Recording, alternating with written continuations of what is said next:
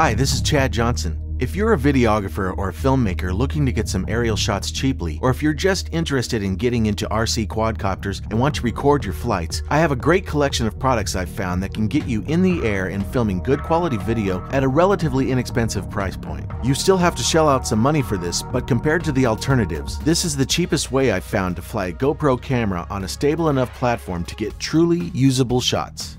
I've done a lot of research on this because as a videographer, I really think it would be cool to add aerial videography to my arsenal of tricks. However, I don't have a lot of money to throw at this. Before this solution, I was looking at a basic Gaui 330X quad for $400 and a decent transmitter for another $400, plus the price of the GoPro and any mounts or mods to make flying easier. So we're looking at $1,200 just to get started.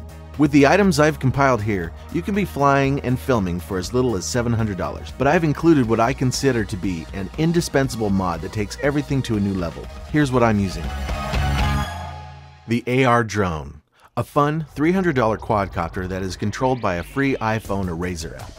It's almost a toy, but it flies with reasonable stability, and with the iPhone it's pretty simple. I'm not going to get into the specifics of the AR drone, as a simple search will give you plenty of info on this really fun quad. The camera I'm using is the GoPro Hero HD. For $300, it's the highest image quality available in a miniature camera designed for action video. It's a tough little camera that sports people wear for skydiving, biking, surfing, or motorsports. It's very tough and it has a surprisingly good image quality. Also, a new version just came out with an even better lens and sensor as well as an audio jack. Now, how do I get the camera onto the AR drone? Simple, you use the AR Drone GoPro Undermount Kit from etfett.net. It goes for around $79. It's an ingenious mount developed by a guy named Daniel who figured out a way to mount the GoPro onto the AR drone without getting any of the drone into the shot. Daniel makes these in Norway with a 3D printer. He's developing new versions for the mount for every shooting angle, and they really make your drone a great platform for filming. Go to etfett.net to learn more. I'll show you more on this later.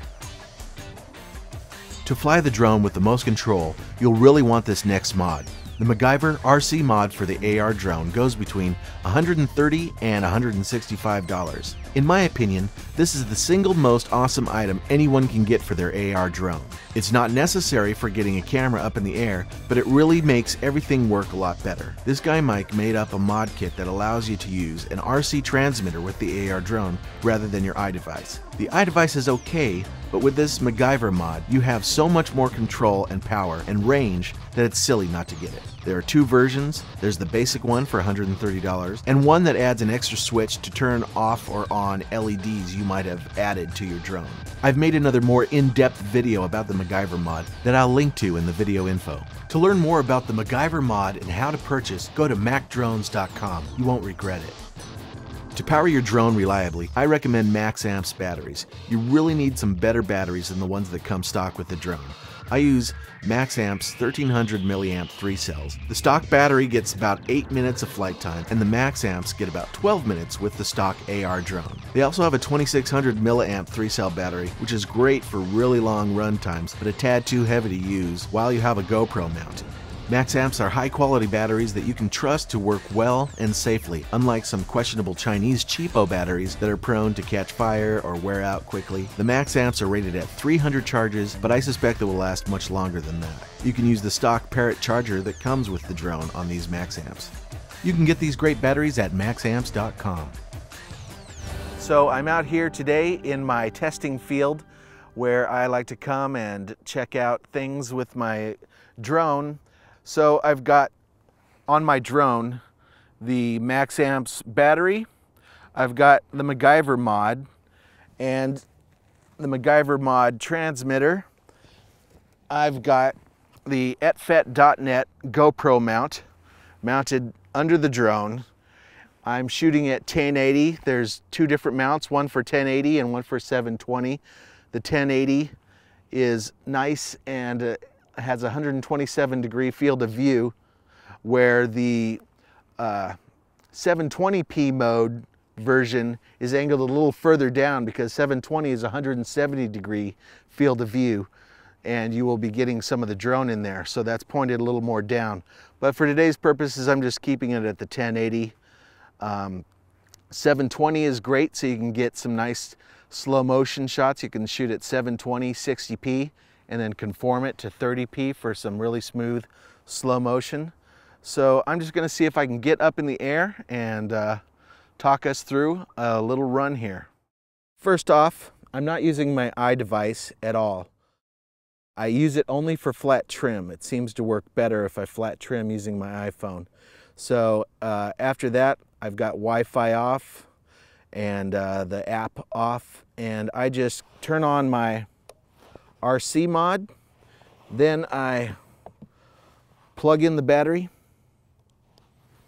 and it takes 10 or 15 seconds before it switches, the light switches to green here. And then another 10 or 15 seconds to where the lights flash. And I call that disco mode. And that lets me know that we're ready to fly. All I need to do is hit the launch switch. Now there's two modes in this. One is called stable mode, where it's using the drone's downward camera to keep it in position when you're not controlling it. I don't like that mode because it seems to have caused some flip outs when I'm doing some uh, tricky maneuvers. So I do what I call full control mode, um, which is turning the switch all the way clockwise. And then I'm in complete control, no use of the downward camera. In fact, you can even mount something blocking the sonar and downward camera. So uh, now I'm just gonna try to launch. It appears we've got a little bit of breeze, but not too much. I'm gonna try this one without the nose gear just to see how it handles and uh, see if we can get some good footage. Got the GoPro rolling. Disco mode, ready for launch.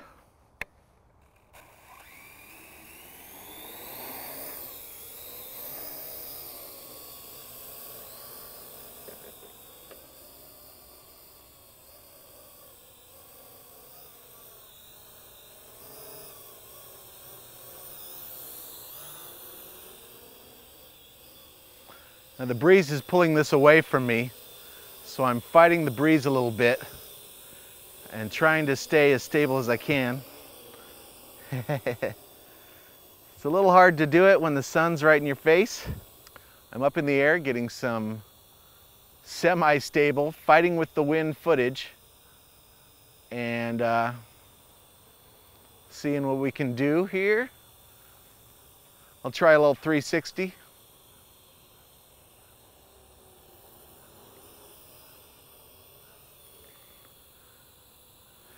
Now under calmer conditions, this would be quite smooth.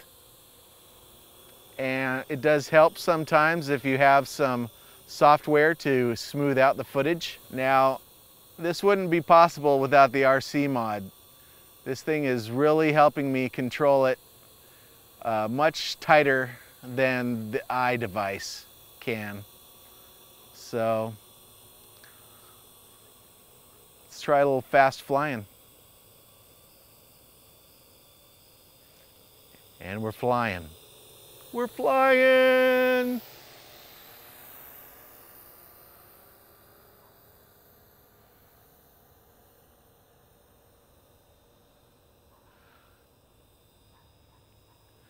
Now we're up from quite a height there. I'm not sure if I'm in the frame. That's another thing, you gotta eyeball things because we don't have first person view.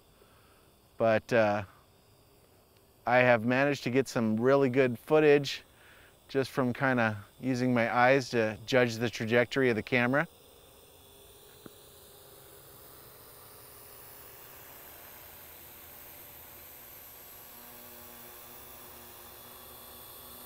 There we go. We do get a little more vibration when you're climbing and descending. So I try to get to a point and stay there if I can. Oh, now the wind's carrying it again. Wind, wind, wind alert. That's way the F up there. As you can see, we are very small dots down here, if you can see. I'm gonna wave. Hi, I don't know if you can see me. Okay, Here we go. I'm going to try to land it and catch it. Now, the trick is to not crash, but to catch. So I'm going to try to catch it.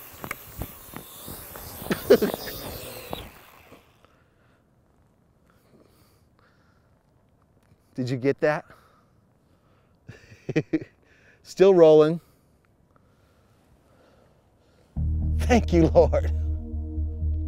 I'm not gonna lie to you here, it's rare that I get a chance to catch the drone. In getting to this point in my quest for cheap aerial video, I've crashed a lot and spent a lot on drone parts. So much so that it was cheaper just to buy another drone or two. But these things can take some abuse as well. Check out the other AR drone videos on my YouTube or Vimeo channels to see some great footage and spectacular crashes. And I want to thank Bo Lawrenson in LA for his contributions. He too has a 3D printer and has provided me with many experimental mounts that my bad flying often broke. Thank you, Bo.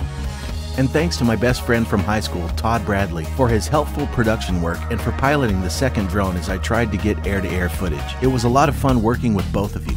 This isn't a perfect solution, but for the price, it can be a fun and rewarding endeavor. With some practice, patience, and working within the limitations of the gear, you can achieve really nice shots. Now go get in the air and get some sweet video. This is Chad Johnson. I'll catch you next time.